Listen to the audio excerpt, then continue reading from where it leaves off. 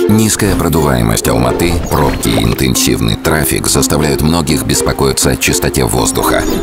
Коктобе-Сити расположился у подножья холма, где нет заторов по восточной объездной, а роза ветров ложится на уникальный рельеф и ускоряет циркуляцию воздушных масс. Все это, плюс соседство с просторным парком Горького, обеспечивает чистоту воздуха и благоприятную экологическую ситуацию.